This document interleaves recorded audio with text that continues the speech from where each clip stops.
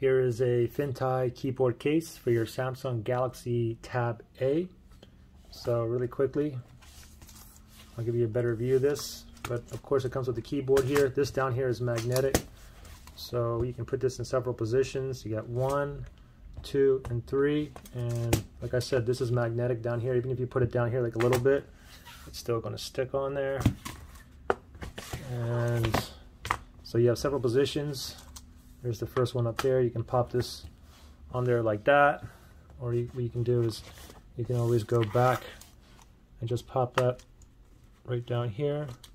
And you can see your first level here, second level, and we got third level right there. Okay, and if you want to close the case, closes with the keyboard as well, just put that up here where this line is right there. We can go ahead and, and you can see the camera lens gets covered by the flap here. This comes in a variety of color. I got the blue, but they have other colors as well. And you can see what that looks with the tab and the uh, keyboard in there. If you want to open it back up, it's going to look just like this. And let me go and take this off and I'll go ahead and pry the tab A8 out of the um, case here so you can see the inside. So you can see what the case here looks like. This is like a hard plastic right here and I'll put this back in here. Make sure the camera is lined up. Just slide that in there. And now let's go ahead and I'll show you how to connect the uh, the keyboard here.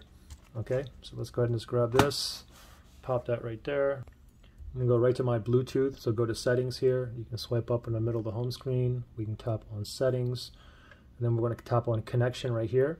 And then tap on Bluetooth up here. So tap on Bluetooth now searching for available devices. So now we have to go ahead and turn this keyboard on. So we're going to turn it on. And there's a connect button here, okay? When I turn it on, the blue light stays on for a few seconds and it goes off.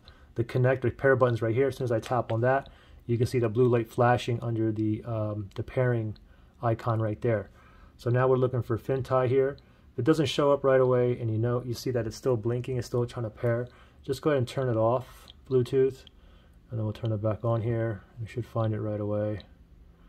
FinTie EB030, so tap on that right there.